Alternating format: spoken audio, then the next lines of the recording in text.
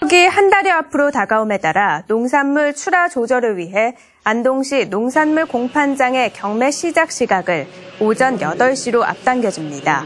안동시는 사과 등 농산물 출하 성수기를 맞아 9월 4일부터 농산물 공판장 경매 시작 시각을 현행보다 30분 단축하기로 결정했습니다. 추석 맞이 홍수 출하에 따른 출하자 대기 시간을 줄이기 위해 풍천과 나무의 선별기를 운영하고 순번 시스템 가동과 휴대폰 문자 전송도 실시합니다. 이와 함께 청과시장은 추석 연휴 기간인 10월 3일부터 7일까지 5일 동안 휴장하고 수산시장은 추석 당일인 10월 4일 오전에만 휴장합니다.